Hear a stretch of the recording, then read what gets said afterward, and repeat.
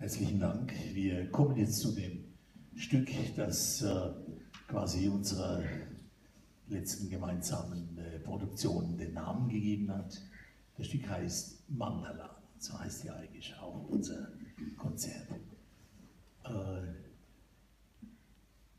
man kann, glaube ich, stundenlang, tagelang, monatelang, jahrelang über Mandala sprechen. Das habe ich jetzt eigentlich nicht vor.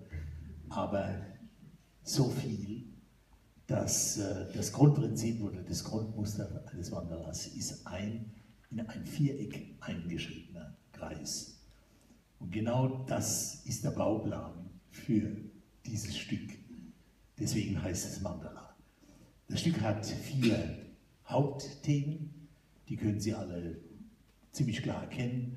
Und es hat ein sogenanntes Kreiselthema. Das ist so ein Thema, das, das hat keine bestimmte Richtung, das weiß überhaupt nicht wohin, das bewegt sich schlicht im Kreis. Und jetzt würde ich aber trotzdem vorschlagen, dass Sie das nicht mit den Fingern abzählen, sondern dass Sie das Stück einfach nur genießen. Es ist so eine Art Meditationsstück. Ne?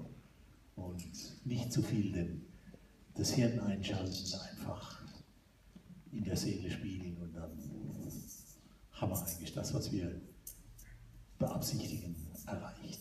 Mandala.